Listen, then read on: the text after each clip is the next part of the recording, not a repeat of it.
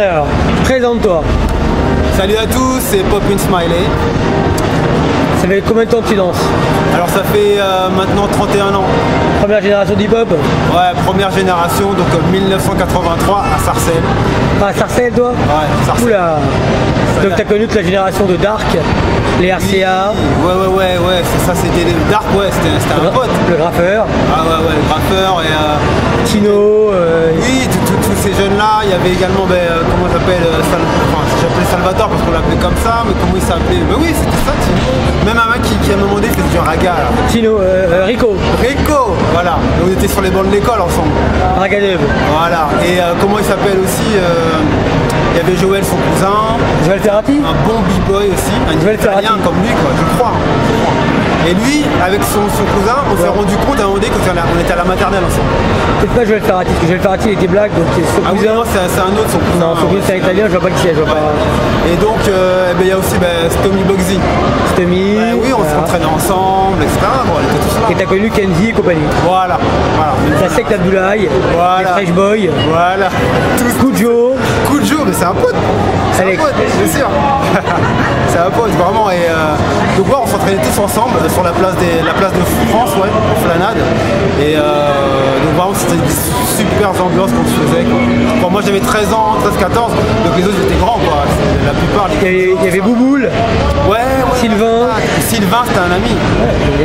j'ai connu beaucoup, de- beaucoup de gens de chez vous. Ouais, ouais. C'était un peu dangereux chez vous à l'époque quand même. C'était un peu dangereux, mais on voyait pas ça. En fait, ce qui se passe, c'est que des fois, même nos flanades, quand on s'entraînait, les gens, ils voyaient un attroupement, ils avaient un peu peur. Mais en fait, l'attroupement, c'était quoi? C'était autour du gros poste qu'il y avait à l'époque, qu'on prenait sur l'épaule et tout. Et euh, donc, on suivait la personne qui, elle, euh, avait les moyens de s'acheter ce poste-là. Et donc, on était tous ensemble en train de s'entraîner là, quoi. Donc t'as suivi toute la génération, 89, t'es passé par hype La hype, un tout petit peu, j'ai testé, j'ai goûté un petit peu, mais à un moment donné, quand la hype vraiment a pris un essor hein, vraiment important, c'était un peu le creux de la vague. On voyait un petit peu moins, dans, enfin, dans mon coin, là, 95, un petit peu moins de popper ou smurfer, comme à hein, l'époque. hein. On voyait un peu moins. Et c'est vraiment à un moment donné, en 95, où je croise un, un pote, Laurent, on l'appelait l'américain à l'époque. Laurent, c'est pas vrai qu'il faisait les rollers tout le temps? Ouais, voilà. lui. Et ben, parce qu'on s'entraînait ensemble à Sarcelles, lui, par contre. Et euh, il me dit, ouais, mais vas-y, Donc moi, j'ai fréquenté Châtelet-Léal à partir de 95. T'es- t'es- Tu te considères comme un smurfer Moi, je me considère comme une, euh, comme un danseur. Euh, un danseur euh, qui a compris sa discipline en fait et les termes appropriés. Donc je sais que maintenant je veux dire ok je faisais du popping en fait depuis un, un certain temps. Euh, donc, et même on va dire Electric Boogie parce que nous on avait plus le. l'école de Break Street, quoi. Voilà, Break, Break Street et même on était plus New York à la base parce que c'est ce qu'on nous voyait, on voyait à la télé. En fait voilà. Euh, Malik Senford, tout ça Oui voilà, on voyait plus ces personnes-là. Mohamed Popping Prince, Fable, Voilà, exactement. ces gens-là Tous ces gens-là d'abord, comme exemple. Et après, le côté euh, West, il est, il est venu euh, bien après. Pour moi, pour ma part, il est venu bien après, mais avec Boys 84. Donc on a dit, ah d'accord, il y a aussi ça, c'est aussi différent. Bon, mais euh, voilà, on, on s'est entraîné comme ça. Et on voulait être aussi bon que ces mecs-là.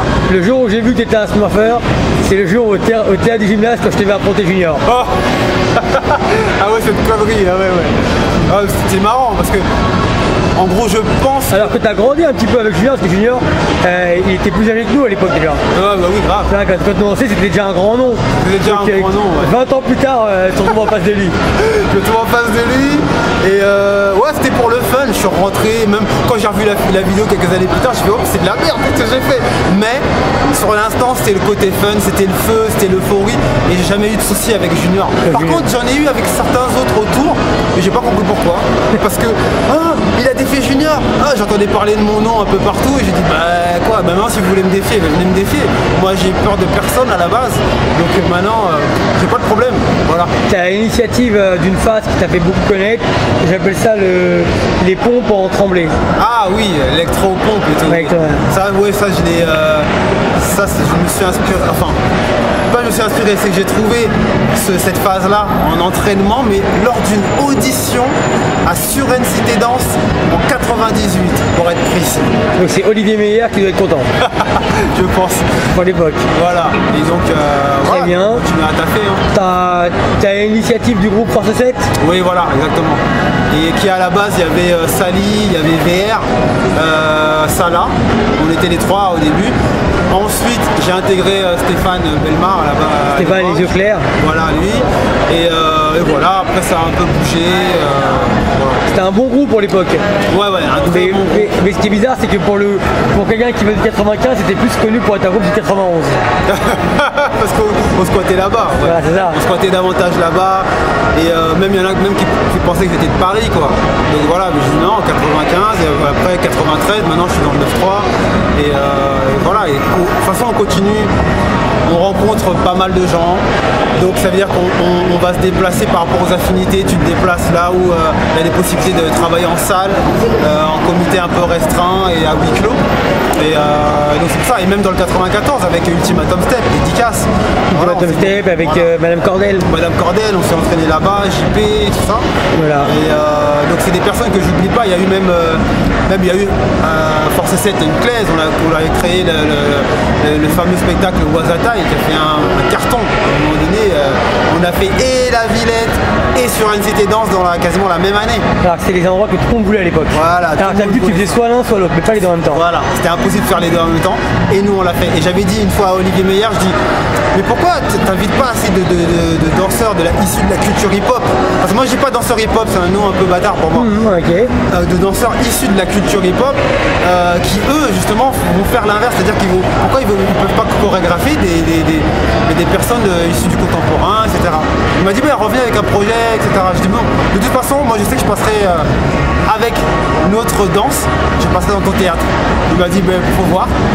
Et finalement il nous a programmé parce qu'ils ont vu le spectacle et ils ont vraiment apprécié. Est-ce que tu trouves aujourd'hui que les spectacles hip-hop, euh, ils, sont restés avec euh, cette mentalité que tu prônes, c'est-à-dire le hip-hop, où ils sont devenus ils sont contemporains, où ils sont devenus hip-hop contemporain? Euh, oh, ça dépend. Ça dépend vraiment, c'est un, peu, c'est un peu compliqué parce que je pense qu'à un moment donné, je crois que dans la mentalité des gens, on s'est dit, ils se disaient, oui, on va faire le spectacle avec cette touche un peu, cette co- couleur euh, entre guillemets contemporaine, parce que bon, contemporain après c'est quelque chose de contemporain, c'est quelque chose d'actuel. Voilà.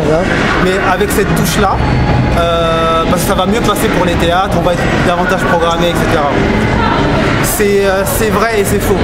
Parce que euh, nous, Force 7 à l'époque, on a pris, on a, le parti pris c'était quoi? Avec notre danse, qu'on danse dans la rue, là, comme à un endroit même comme les 104 ou à Châtelet-Léal ou partout, et ben on va le mettre en lumière, on va le mettre sur scène et vous allez kiffer.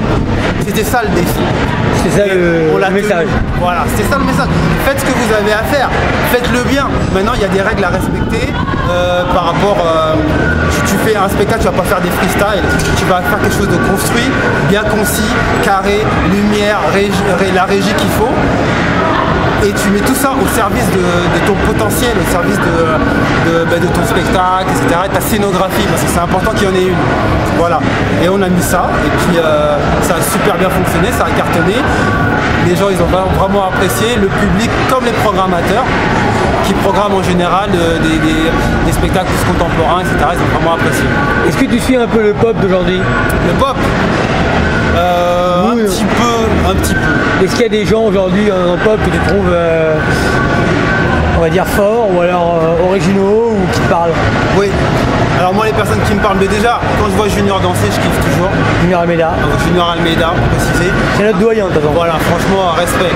Et euh, il y a des personnes comme euh, ben, Franquet, des personnes comme Iron Mike, euh, comme Nelson, comme euh, Stoko, Sally Sly, euh, la- la- cette génération-là là, qui ont créé leur groupe, là, Avengers.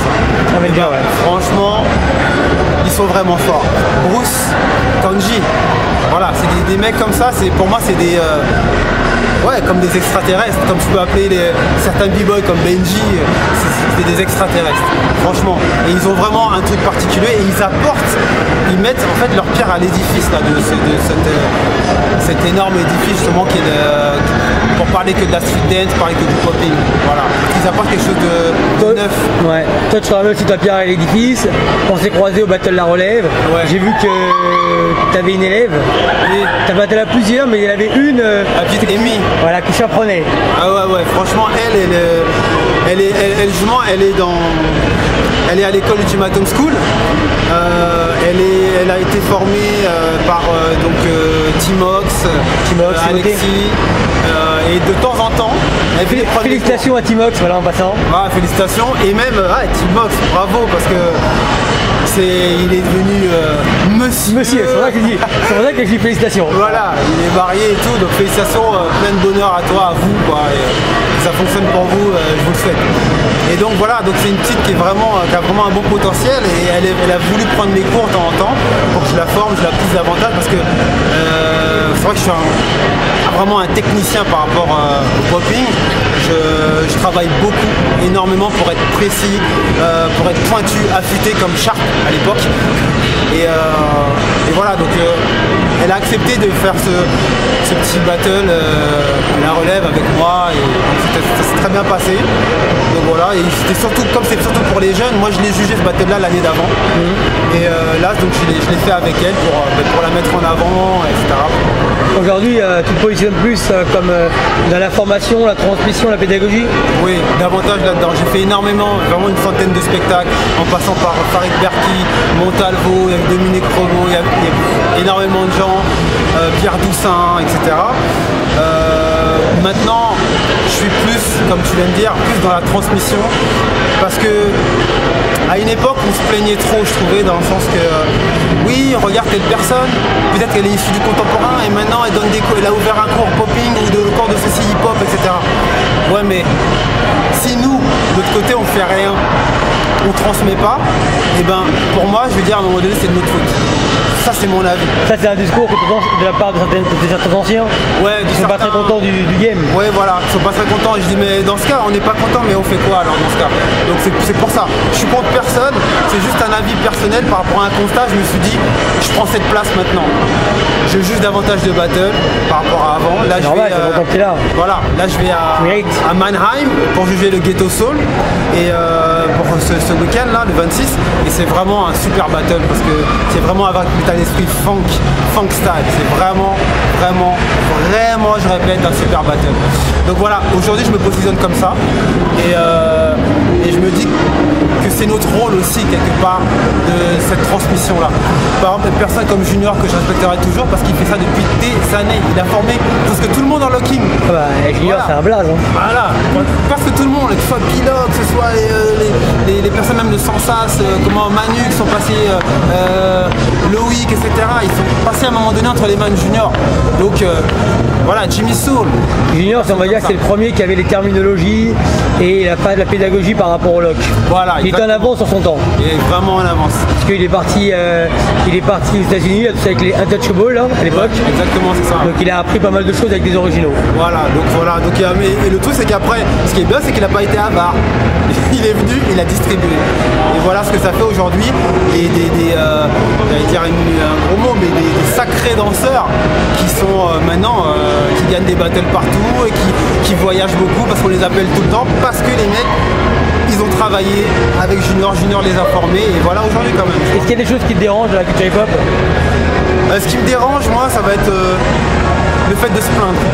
Allez, les plaintifs. Voilà, voilà, les plaintifs. Faut arrêter. Oui, la nouvelle génération, ils sont comme ci, ils sont comme ça, ils font pas ci ou ça, ils respectent pas. Mais nous, quand on était plus jeunes, tu t'avais beau venir de New York ou de je sais pas d'où, on te connaît pas, tu viens, tu veux montrer que, que, que tu sais tout. Et ben nous, on va te dire à un moment donné, excusez-moi du terme, mais eh, va te faire foutre, on te connaît pas. On est là, seul, on s'entraîne seul. Bah, à l'époque, euh, on s'entraînait seul. Hein. Voilà, on s'entraînait seul, on n'avait pas, il n'y avait personne pour nous. Donc c'est exactement la même chose. Donc si euh, faut arrêter de se plaindre, je veux dire, de la nouvelle génération, faut plutôt aller vers elle. Parce que elle, on va dire que c'est comme lorsqu'on dit ouais la nouvelle génération c'est important, les enfants c'est important, c'est notre futur. Et ben faisons en sorte que ce futur soit le mieux possible. Donc allons vers ce futur-là quelque part pour que justement ben, qu'il apporte de bonnes choses, qu'on puisse donner une de bonnes bases. Parce que certains jeunes on va leur dire ouais mais moi personne m'a donné ici, personne m'a donné ça. Et ils ont raison de pas de se plaindre et de dire hé hey, lâchez-nous les anciens. Ah, voilà, qu'est-ce qu'on dit et qu'on répond après. Voilà, donc faut être présent, faut être dans le cercle, faut être dans le. J'allais dire dans le. Faut occuper le terrain. Faut occuper le terrain, faut être présent. Voilà. Très bien. Est-ce que, est que tu peux nous parler du survêtement que tu portes? Ah, ce survêtement que je porte. Euh, Parce que moi, quand, quand je te filme là, je, je, te regarde, tu me ramènes à une génération 89, 90. Ouais. Tu vois, c'est les survêtements qu'à l'époque pour les obtenir, ça coûtait de l'argent, c'était pas facile à avoir. Exactement. Et toi, tu es là, euh, c'est-à-dire que celui qui passe devant toi, si c'est pas que tu es, un old school, ah, c'est dur. Ouais. Donc il y a un mec tout à l'heure qui m'a dit Oh, oh l'ancien ça va et tout, etc. Genre pot de pêche, etc. Mais je dis, mais oui, mais c'est comme ça, je veux dire, c'est ma génération en bah même oui. temps. Tu restes fresh and clean, mais voilà, il y a, y a, quand même des codes qui sont là et, et qui demeurent. Déjà dans, dans notre danse, hein, même toi Yuval, quand tu vas danser, on va dire te, on te on dit ah ouais, c'est une certaine époque, voilà, avec les attitudes, les, les, on, voyage, on, on, avance avec notre temps, mais on a nos points de repère, on a nos marques. Euh, donc voilà, c'est même lorsqu'on fait euh, beaucoup de spectacles comme j'en ai fait, tu es sur scène, tu voyages, tu bouges avec Montalvo, tu vas au Japon, tu vas ceci, cela. Mais à un moment donné, tu as besoin de te retrouver dans la rue, tu as besoin de te retrouver mais, proche de... À la racine. Voilà, à la racine, parce que c'est ça qui est important aussi. Voilà, la source pour repartir. Le mot de la fin, ça serait Le mot de la fin, ce serait tu as ton but, tu as envie de danser par exemple, ou qu'importe ce que tu veux faire dans ta vie, tu as ce but-là, et ben vas-y, c'est ton rêve. Tâche de l'obtenir, de le toucher, de, de t'en imprégner, de le goûter, de le manger tous les jours, dès maintenant. C'est pas genre quand tu l'auras, c'est il faut que tu puisses penser comme si tu l'avais déjà. Et tu vis déjà ce rêve-là maintenant. Voilà, je pense que euh, c'est ce qu'il faut. On arrête de se plaindre, on avance, garder le smile, et puis voilà, avant. Tiens, un mot à la fin, une dernière question, pourquoi Smiley? Pourquoi Smiley? Alors, c'est une dédicace que je fais toujours à, à Nacera Hurricane. Hurricane. Voilà. Et on, dédicace. Dédicace. Il y avait aussi la, la pote euh, qui s'appelle Sonia à l'époque. Sonia qui dansait à l'époque. Ok aussi, ouais. voilà. Ça c'est la génération 95, Sonia. Voilà, génération 95. Et euh, pour l'anecdote, la, on devait aller en Allemagne, à Berlin. Donc organisé toujours par euh, le, pour le Tanz. Euh... Tati ou Made in Positive Je crois Made in Positive, je crois. Avec Ali Non, non euh, Moving Action. Moving Action, ah, Aussi, avec Scalp. Voilà, tout ça. Et donc on veut aller là-bas pour, pour, pour faire un spectacle. Et ce qui se passe, c'est que j'arrive un matin à la répétition et elles deux me disent hey, on t'a trouvé un blaze. Ouais, ouais, tu pop et tu souris tout le temps, etc. On va t'appeler Smiley Pop, Pop in Smiley. Je dis pourquoi pas. Et voilà, depuis 98 en fait, donc dédicace, merci les filles. Et euh, parce que bah, ça colle à ma peau, hein, c'est comme ça. Et je pense que c'est les, me les meilleurs blasts, c'est ce que les autres vous donnent, je pense. Peace. Peace.